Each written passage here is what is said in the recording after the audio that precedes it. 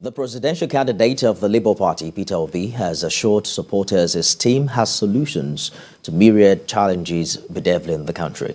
Mr. Obi, at the flag of, of the party's presidential campaign in Lafia, the Nasarawa state capital, promised to solve Nigeria's flawed challenge and ensure the country attains sufficiency in food production, adding that if elected in 2023, there won't be blame games involving past governments.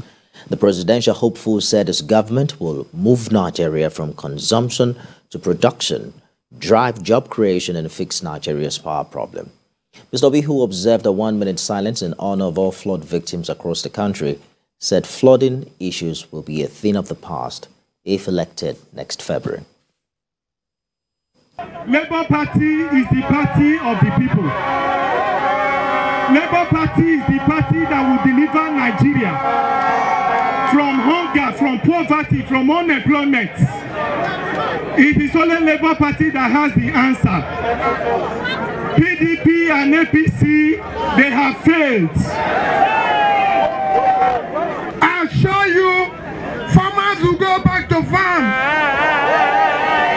Farmers will go back to farm because we're going to deal with insecurity.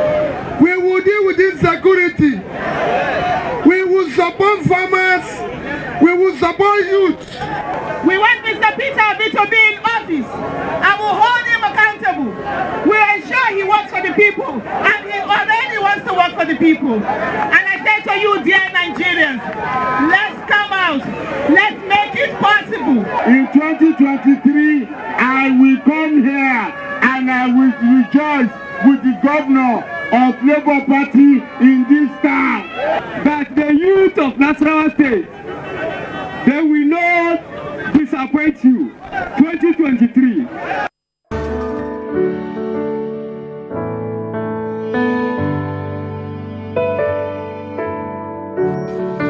Avenue.